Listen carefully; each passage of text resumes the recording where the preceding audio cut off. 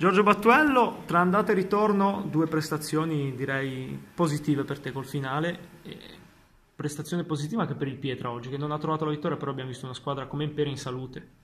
Sì, assolutamente, nel senso eh, sono magari due partite che stiamo facendo bene, non raccogliamo quello che, che dovremmo, eh,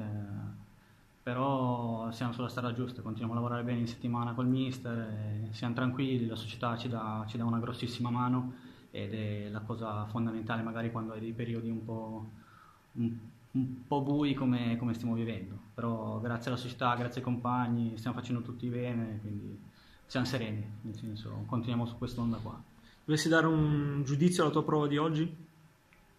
No, ho dato una mano alla squadra, forse se avessi fatto gol eh, sarebbe stato meglio, poi magari parliamo di un'altra partita, però va benissimo così, sono contento, devo riprendere un pochettino po'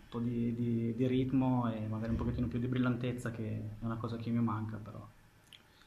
Oggi il mister ha detto che ha scelto te per attaccare un po' di più la profondità del finale, attaccare la loro difesa alle spalle. Questo a tratti vi è riuscito, vi è riuscito anche bene con un modulo che comunque non è abituale per voi.